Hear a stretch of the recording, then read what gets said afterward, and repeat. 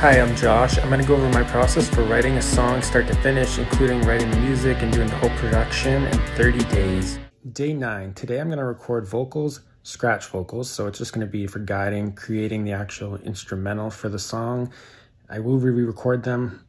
I will re-record them later on, but for now, this is what I'm going to do. So now I'm ready to record vocals. I got the track all armed right there, so the input is set up for my microphone.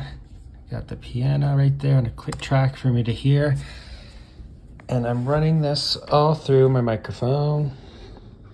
I mean, and I'm running this all through my headphones. All right, got my headphones on and I'm ready to record. This is my microphone. I got three pop filters. You need at least three to record. No, you don't. You just one is fine. So let's go ahead and start that. And here we go.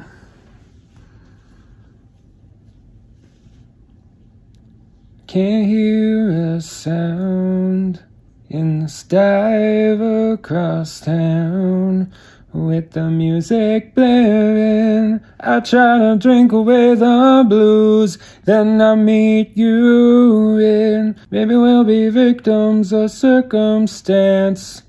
But while the moment's here, let's take a chance. Touch me, love me, need me, want me. With you here, I don't feel lonely. Touch me, love me, need me, want me. Tonight you'll be my one and only. All right, I'm pretty happy with how that turned out. So stay tuned for whatever we have next tomorrow.